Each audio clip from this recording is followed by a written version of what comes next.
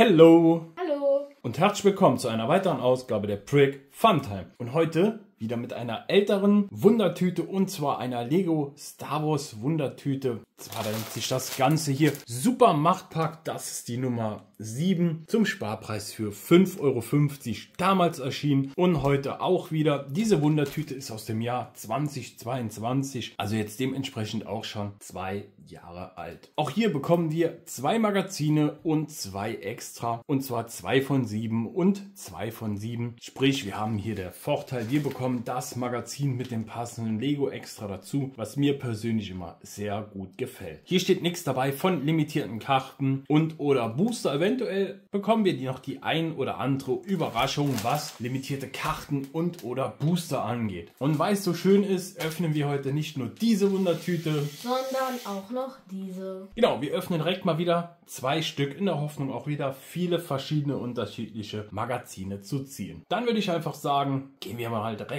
rüber ins Opening.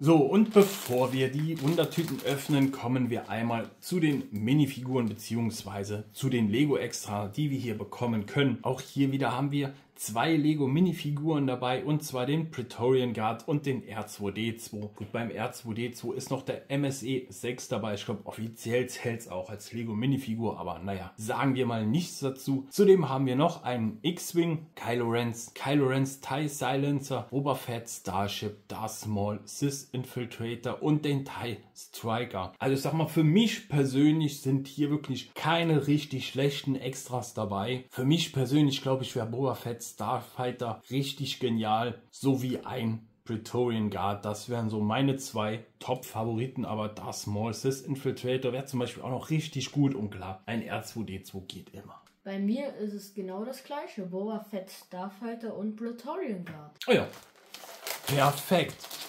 Dann werden wir einfach mal reinschauen, ob wir irgendwas von unseren Favoriten bekommen. Wer soll denn heute beginnen? Du. Dann fange ich heute mal an.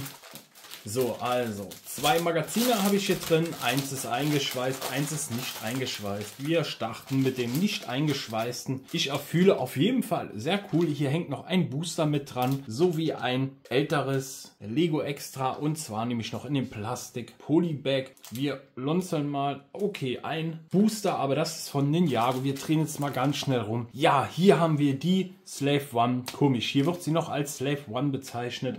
Vorne auf der Tüte heißt Boba Fett's Starfighter. Warum das so ist, kann ich gar nicht sagen, ob es irgendwie rechtliche Gründe gibt. Ich habe keine Ahnung. Dennoch, ich bin auf jeden Fall mal richtig froh, dass ich die Slave One bekommen habe und das Drachenjäger Booster ist natürlich auch nie verkehrt von Ninjago. Das Ganze war die Nummer 45 aus dem März und zwar, ich muss gerade gucken, das Jahr war 2018, also ein sechs Jahre altes Magazin, das Ganze hier.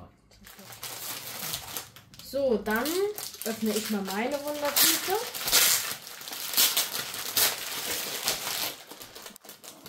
Oh, als erstes das Geschweißte. Ja, mach das. Dann, ja, sieht ähnlich vom Hintergrund aus. Und ja, wir haben auch die Slave One. Und natürlich das Drachenjäger Serie 4 Booster. So, dann holen wir mal hier unser zweites Magazin raus. Auch hier, die Macht liegt in deinen Händen. Auch wieder ein älteres Magazin, auch aus dem Jahr 2019. Und wir schauen mal nach. Hier haben wir den TIE Striker, das Magazin 56 und eine limitierte Karte Nummer 11. Und zwar Yoda und die ist noch in einem sammelbaren Zustand. Das finde ich immer sehr positiv. Also überrascht auch eigentlich ein relativ gutes Extra, was wir hier haben. Dann hole ich mal meins raus. Und was ein Zufall, wir haben einen anderen Hintergrund. Sehr. Und wir haben Kylo Ren's TIE Silencer mit Boba Fett, für den wir auch hier das Flugzeug bekommen halt als Limit Edition, die Nummer 54. Und so sieht jetzt unser Inhalt unserer zwei Wundertüten Super Machtpack Nummer 7 von Lego Star Wars aus. Das Ganze damals für 5,50 Euro erschienen, jetzt auch wieder für 5,50 Euro.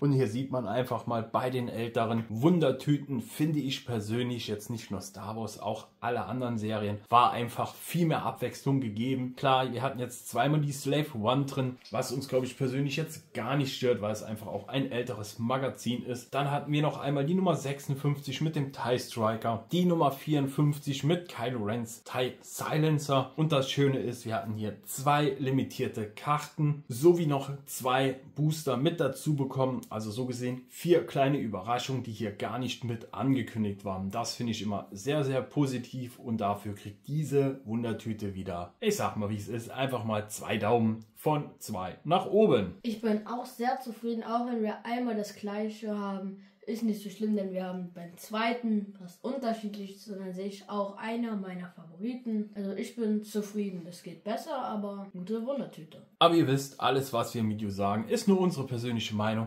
Schreibt gerne in die Kommentare, was haltet ihr von unserer Ausbeute? Und wenn ihr diese Wundertüte damals hattet oder heute, was hattet ihr dort drin? Und dann sagen wir, wie immer, Vielen Dank fürs Zusehen. Und solltet ihr es noch nicht getan haben, könnt ihr diesen Kanal gerne abonnieren, um keine weitere Folge zu verpassen. Und bis zum nächsten Mal. Euer Horgi. Und Finny.